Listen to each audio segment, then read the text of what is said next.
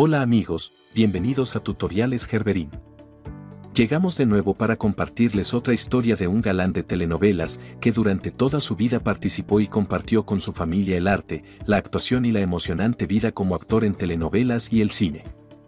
En este tipo de historias sobre galanes de telenovelas nos adentraremos en el caso de un famoso que conquistó el corazón de muchas mujeres, pero veremos cómo terminó, agotado por tanto amor.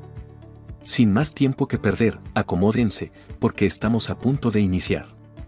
No te olvides de suscribirte al canal y activar la campanita para recibir más contenido.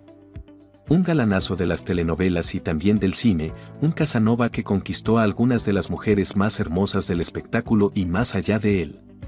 Sí, amigos, hoy hablaremos de Juan Félix Gutiérrez Puerta, quien nació en Guadalajara, Jalisco, el 8 de noviembre de 1943.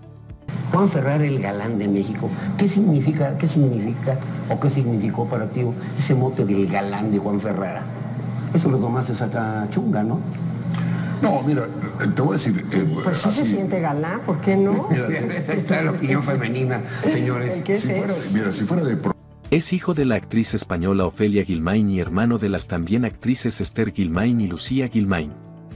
Sería interminable citar el trabajo de uno de los actores más importantes y queridos por el público en México, pues este galán se ha consagrado como primer actor en la televisión, acumulando más de 30 protagónicos a lo largo de su carrera. ¿Y usted? Pues bien, bien, ahí voy, ahí voy. Pero vengo a tratar contigo otro asunto. Mi hijo Saúl me contó pues, toda una historia. Pero bueno, déjenme intentarlo. Entre sus participaciones más representativas destacan La Gata, El Espejismo Brillaba, Yesenia, Viviana, El Hogar que yo robé, Gabriel y Gabriela, Valeria y Maximiliano, La Antorcha Encendida, Mar de Amor, La Fuerza del Destino y más recientemente en Qué Bonito Amor. Y me quedo corto. Señor de los Santos. ¿Qué quieres? Viene con la señora Berta y... Pero yo no quiero hablar contigo. Está bien. Hablaremos, pero no aquí. Te espero mañana en mi oficina. En cine ha participado en más de 25 películas, por citar alguna, Mentiras coprotagonizando con Lupita de Alessio. Y no solo ahí, ya que es, sin lugar a dudas, el hombre de teatro de México, con más de 45 años de carrera artística.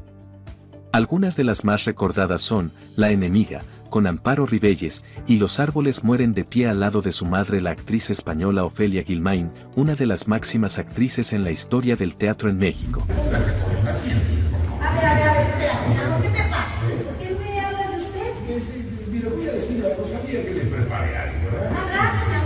El huevo de Pascua, los derechos de la mujer, trampa de muerte, cena de matrimonios, aventurera, doce hombres en pugna, y recientemente Filomena Marturano con una temporada exitosa en México y una gira que abarcó 53 ciudades, así como por Estados Unidos. No es de extrañar que fuese premiado como el mejor actor de teatro del 2011. Con nuestro amor. Te amo tanto. Ya sé que eres la misma. Entonces. Yo no soy el mismo. En 2013 empieza una de las temporadas teatrales más exitosas de todos los tiempos que hoy en día ya es un clásico, Made in México, con Rafael Inclán, Socorro Bonilla y Rocío Banquels, con quien se presenta ininterrumpidamente de jueves a domingo en el Teatro Jorge Negrete, de la capital mexicana y entre semana visita diferentes ciudades del país. El ramo del, del, teatro y del cine y dentro del, este, lo que más se asemeja a manejar la energía amorosa es el galán. Pocos actores existen tan vigentes y con un historial respaldado de tantos éxitos como Juan Ferrara.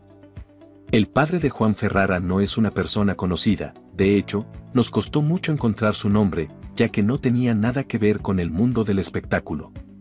Él fue la primera pareja de doña Ofelia Gilmen y se llamaba nada más ni nada menos que Lucilo Gutiérrez Rivera, sinaloense desafortunadamente, ya no se encuentra con nosotros. Pues resulta que él se casó con doña Ofelia Gilmain, la madre de Juan Ferrara, actriz española, con una vida apasionante. Su madre llamada Aurora, abuela de Juan, era una maestra de una escuela en España y se caracterizaba por ser una mujer muy intelectual. Ofelia Gilmain celebró el Día de las Madres muy contenta, porque pudo reunir a toda su familia durante un día estupenda mis cuatro hijos, Lucía, Lochis, Mona, Y Juan, desde el hijo consentido, no podía faltar. Identificación con mi madre, ¿no? O sea, la encuentro como un ser que ha seguido sus pasos eh, más, más intelectual y espiritualmente. Ella solía reunirse con un grupo de personas para hablar de filosofía, letras y temas relacionados con la cultura y las artes. Mis respetos. No, no es que me venga, la verdad es que yo nací dentro de un grupo. O sea- de- o sea, nací en, casa de mi madre, pues No estaban todos, ¿no? Yo creo. Era una mujer muy intelectual y respetada en España, adelantada a su tiempo en muchos sentidos. Se convirtió en una mujer de pensamientos muy liberales para su época y fue ella quien impulsó a sus hijos a acercarse a la cultura, al arte, entretenimiento, poesía, entre otros.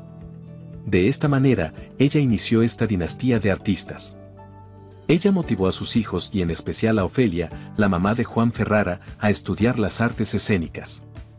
Más tarde, debido a la guerra civil, ellas dos se vieron obligadas a exiliarse de España y llegaron a México. A pesar de las dificultades, continuaron con su carrera en el mundo del arte y la actuación. Doña Ofelia logró insertarse en el medio artístico gracias a su gran personalidad y talento. Y así, don Lucilo Gutiérrez llegó y se casaron, compartiendo sus vidas durante 10 años. Durante ese tiempo, nacieron sus hijos Lucía, Juan, Esther y Margarita. De hecho, Juan fue su único hijo varón. Tal como lo hizo su abuela, doña Ofelia hizo lo mismo con sus hijos, comenzando a inculcarles la cultura artística e intelectual. Frecuentemente, se rodeaban de figuras como Agustín Lara, y para los jóvenes era común encontrarse en casa con actores, directores, cantantes, empresarios, entre otros. Aquí un dato gracioso y es que cuando Juan era pequeño, solía decir que no quería casarse, que prefería ser un hombre de fe. para ti ese mote del galán de Juan Ferrara? Eso lo tomaste acá chunga, ¿no? Desde muy niño, lo que más me ha preocupado en el universo es el amor. Y pues de algo estamos seguros, y es que el deseo del pequeño Ferrara no sucedió. Aunque Juan expresaba ese deseo en su infancia, su mamá, a quien le encantaba organizar reuniones, fiestas y participar en muchas actividades sociales, no le permitió seguir ese camino. La verdad es que yo nací dentro de un grupo. O sea- de- o sea, nací en, en- en casa de mi madre, pues No estaban todos, ¿no? Yo creo. Había escritores, directores, gente, yo los preparaba. Un día, en una de estas reuniones que doña Ofelia solía organizar, posiblemente a mediados de los años 50, Juan Ferrara y Enrique Rocha se conocieron. Una vez me duró como dos años. Muy, muy fuerte.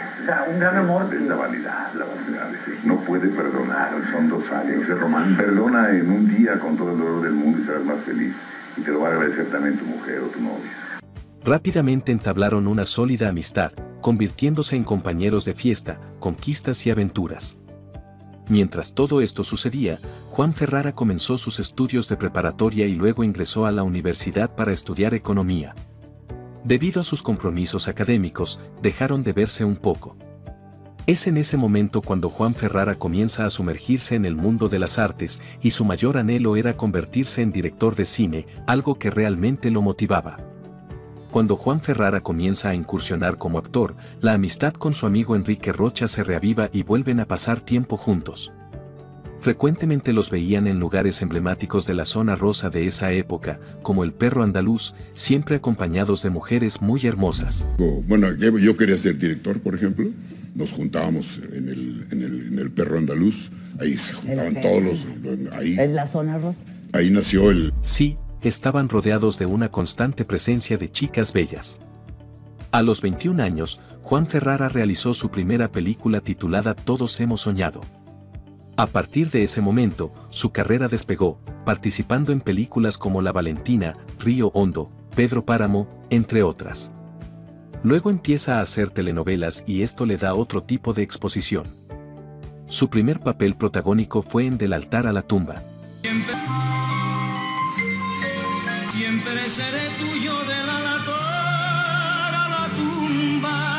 Fue en este momento cuando decidió cambiar su apellido en su nombre artístico con el fin de desvincularse de su madre.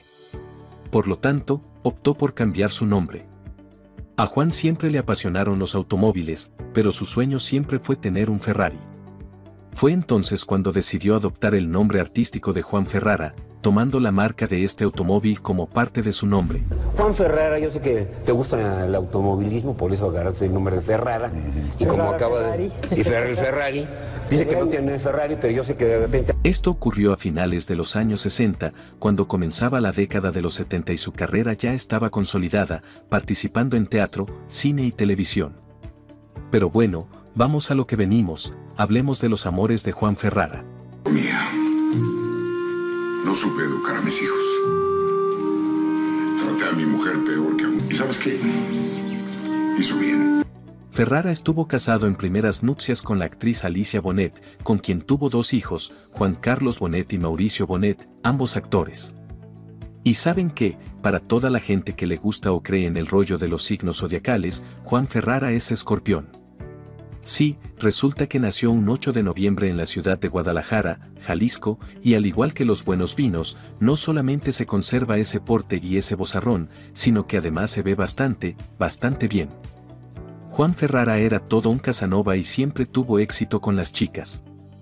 Un día, mientras filmaba la película Los Ángeles de Puebla, Juan se encontró con una joven tan hermosa que todas sus conquistas anteriores quedaron eclipsadas. Resulta que esta actriz era conocida por ser la cara bonita y tierna del cine mexicano, Alicia Bonet, quien en los años 70 fue muy admirada por su belleza. Juan, al verla, se enamoró perdidamente y decidió, yo aquí me quedo, no tengo que buscar en otro lado, y así comenzaron a salir juntos. Me parece un sueño. ¿Se las leo otra vez? No, por favor. Con el tiempo, su relación se fortaleció y finalmente se casaron. Durante el tiempo que estuvieron casados fue un matrimonio muy mediático, de gente bonita. En este matrimonio, Juan Ferrara y Alicia Bonet tuvieron dos hijos, Carlos y Mauricio Bonet. Decidieron adoptar el apellido de su madre para su carrera artística y ambos siguieron los pasos de sus padres como actores. Lamentablemente, a pesar del amor que compartían, el matrimonio duró solo cuatro años.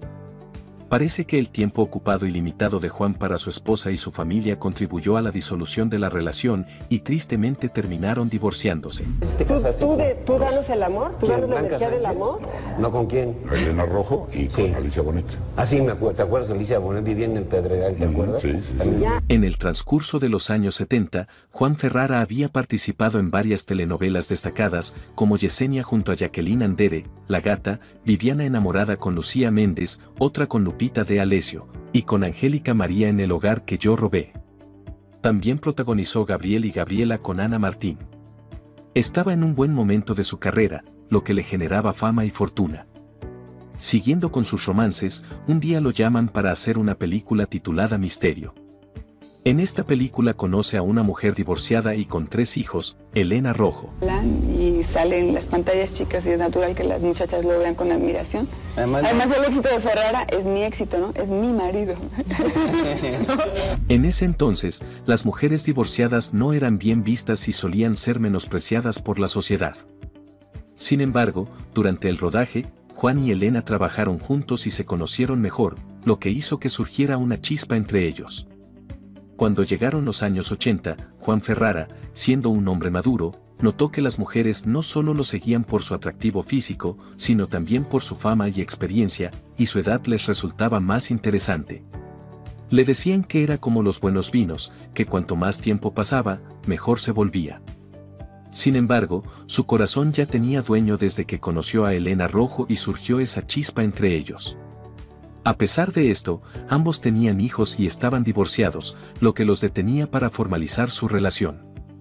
Con el tiempo, sin importarles lo que pudieran decir los demás, decidieron estar juntos y darse una oportunidad. Todo iba de maravilla, compartían una vida juntos, disfrutaban de su amistad, del amor y del trabajo. Un día, decidieron llevar a cabo una obra de teatro y comenzaron a viajar por todo México para presentarla en diferentes lugares. Llegaron a Los Mochis, Sinaloa, donde fueron invitados a una entrevista de radio para promocionar su obra teatral. Se dice que al momento en el que llegan a la cabina de radio y son recibidos por una de las locutoras, una joven muy profesional llamada Verónica Ruiz, quien les hace la entrevista a ambos. Durante la entrevista, Juan Ferrara no dejaba de mirar a Verónica y al terminar se acerca a la locutora y la invita a cenar. Esta situación no le agrada mucho a Elena Rojo, quien se muestra molesta. Verónica, al darse cuenta de la incomodidad, sabiendo que entre ellos dos hay una relación, también nota la tensión en el ambiente. Está Juan Ferrara también por acá. Juan. Muy delgado. Pensé que ibas a decir lo, de la, lo que dice en la obra. No, yo creo que lo que, lo que ah, pero además digo, no, no, la gente está de vacaciones y, todo porque los primeros días estuvo perfectamente la entrada. Nada más eh, ayer y. Ante la invitación de Juan, Verónica decide rechazar cortésmente la oferta, agradeciendo la invitación y sugiriendo que podría ser en otro momento. Después de este episodio, Juan intenta buscarla en varias ocasiones, pero Verónica reitera su negativa, dejándole claro que no está interesada en él y pidiéndole que por favor no la llame ni la busque más. Sin duda, el hecho de que Verónica conociera a Elena Rojo y los viera juntos pudo haber influido en su decisión de rechazar a Juan Ferrara. Ella pudo haber considerado que involucrarse en una situación así no sería conveniente ni apropiado para ella, y sabiamente optó por no aceptar las propuestas de Juan.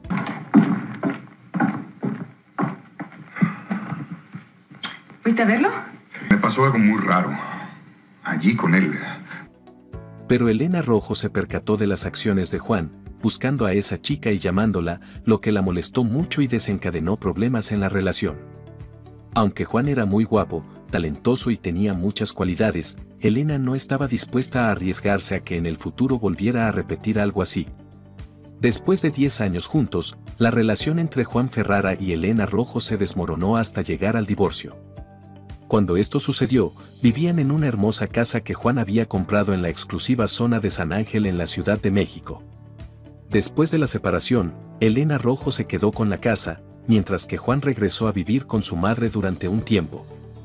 Se dice que el final de esta relación fue tan difícil para Elena, ya que en una ocasión Carla Estrada quería incluir a Juan Ferrara en un proyecto, pero Rojo se opuso rotundamente, llegando al punto de abandonar la telenovela si su expareja formaba parte del elenco.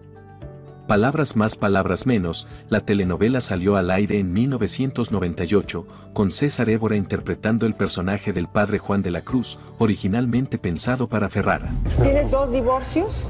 ¿Y estás feliz como soltero? Claro. Sí. No lo sé, déjame ver. Sí, sí, sí. ¿En algún momento viviste solo antes de...? Después del divorcio, Juan Ferrara comenzó a llevar una vida amorosa muy acelerada, pero al mismo tiempo continuó trabajando en varias telenovelas de los años 90, como Valeria y Maximiliano, La Antorcha Encendida y muchas más. Bien, a este galán, que con los años se ha puesto como el buen vino, lo hemos visto derrochando amor con una jovencita a quien conoció en 2012 en una de las funciones de la obra Mer en México y que resultó ser su novia. ¿Qué pasa con Juanito Ferrara? A quien le mando un cariñoso saludo a Juan. Es uno bastantes años mayor que tú. ¿30 podrá ser? Hay tantos años, sí. No, creo ¿Te que... enamoraste o lo conociste? Porque sí, al actor le gustan aquellas flores que le puedan dar un soplo fresco a su vida, pues no ha sido la única pareja más joven que él en su historia, ya después de sus dos matrimonios, tuvo novias jovencitas. Siempre hubo algo constante en él y era que siempre se iba por las mujeres mucho más jóvenes que él. Pero, ¿cómo hacía este galanazo para conquistar a tan bellas y destacadas jovencitas? Primero permítanme decirles que ser guapo no tiene que ver con la gente de rasgos finos o con la apariencia de un modelo de centro comercial. porque es uno de los más indiscutibles galanes del actual teatro y televisión mexicana. ¿Cómo te Juan? Gusto saludarte. Buenos días. No, lo que distinguía a don Juan Ferrara en sus mejores años, y que continúa conservando hasta el día de hoy, es esa masculinidad que va más allá de una cara bonita, junto con una voz que enamora. Esa voz, amigos, suena a los mismísimos ángeles. Don Juan Ferrara cuenta con una personalidad arrolladora, junto con su voz son una combinación perfecta para que alguien sea verdaderamente encantador, tome nota compadre. Como dice un viejo proverbio chino, que a la mujer se le enamora por el oír, y este hombre tenía una clara ventaja, no solo con sus palabras sino con el timbre de su voz. Desde los años 70, don Juan Ferrara no solo era reconocido como actor por su trabajo en la pantalla, sino también por ser un seductor nato. Siempre le emparejaban con actrices mucho más jóvenes que él, pero a pesar de la diferencia de edad, siempre se veían muy bien juntos.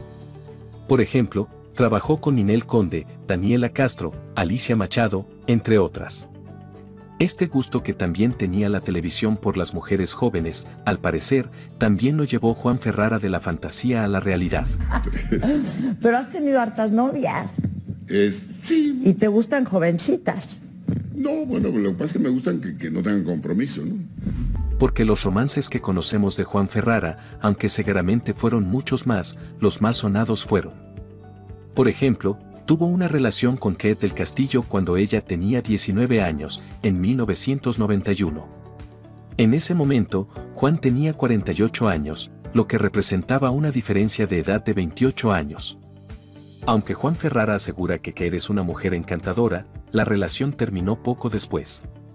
Toda esta gente ¿Tú que se está con metiendo. Kate, no? Y tuvimos, un- eh, tuvimos una temporada, sí. Un romance. Ujú. Pero era súper chavita ella, ¿no? Sí, bueno, no chavita, ya era una mujer. O sea, Sin embargo, poco después terminaron.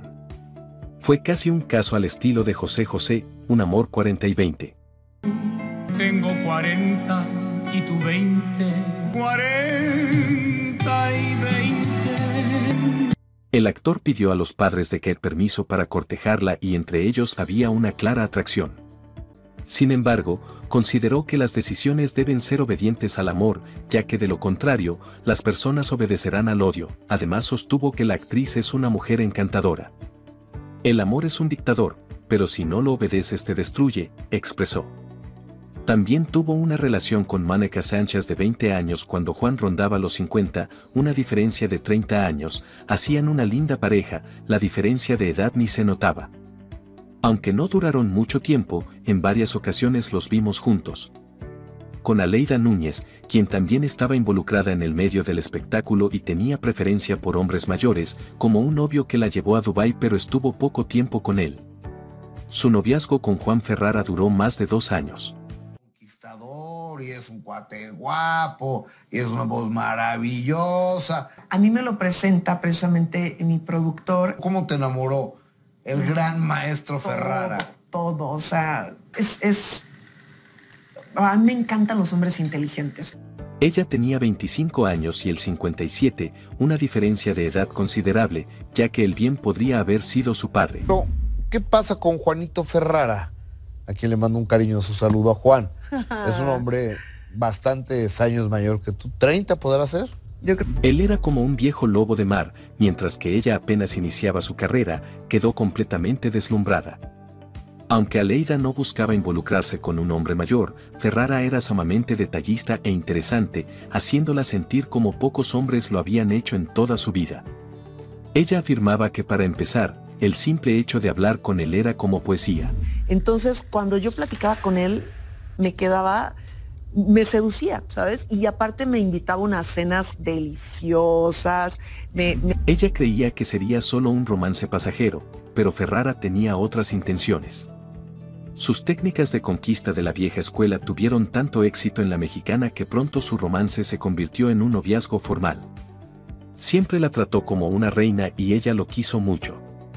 Fue un gran hombre en su vida y no se arrepiente de nada de lo que sucedió. Para empezar, el platicar con él es una poesía. Aseguran que el hecho de que Aleida sostuviera una relación con un hombre que tenía una larga trayectoria en el mundo de la actuación fue de gran ayuda para su carrera profesional, ya que ella apenas daba sus primeros pasos en la industria. Sin embargo, aunque muchos creían que la pareja llegaría al altar, las cosas pronto comenzaron a enfriarse. Dicen que ellos terminaron porque Aleida sí deseaba casarse y tener hijos, mientras que Juan ya no estaba interesado en ese tipo de compromisos. Él mencionó que ya se había casado y tenía hijos en el pasado, y que no tenía interés en volver a pasar por esa experiencia. Esta diferencia de objetivos enfrió la relación y eventualmente llevaron a su separación. y él, bueno, él ya había tenido sus hijos, ya había estado casado. Entonces, bueno, yo dije, mira, la verdad, prefiero seguir mi vida porque yo sé que tarde o temprano voy Más adelante, se vio a Juan con Adriana Fonseca, con quien comenzó un romance. A pesar de que ella tenía 26 años y Juan más de 60, todas las mujeres, sin importar la edad, se dejaban seducir por Juan Ferrara debido a ese misticismo y encanto irresistible que aún conservaba. Era ese ven para acá que las cautivaba y las hacía caer sí o sí, rendidas sin remedio. Adriana Fonseca es hija de los dentistas Hugo Fonseca y Guillermina Castellanos. En 1997, fue ganadora del premio El Rostro del Heraldo y protagonizó la telenovela infantil Amigos por Siempre, así como la serie Mujer Bonita, donde compartió créditos con René Strickler. La belleza que posee ayudó a Adriana a ingresar al medio artístico después de ganar el certamen mencionado, el cual le abrió las puertas. Pronto logró integrarse al elenco de la telenovela Pueblo Chico, Infierno Grande, donde debutó como actriz y conoció a Ferrara.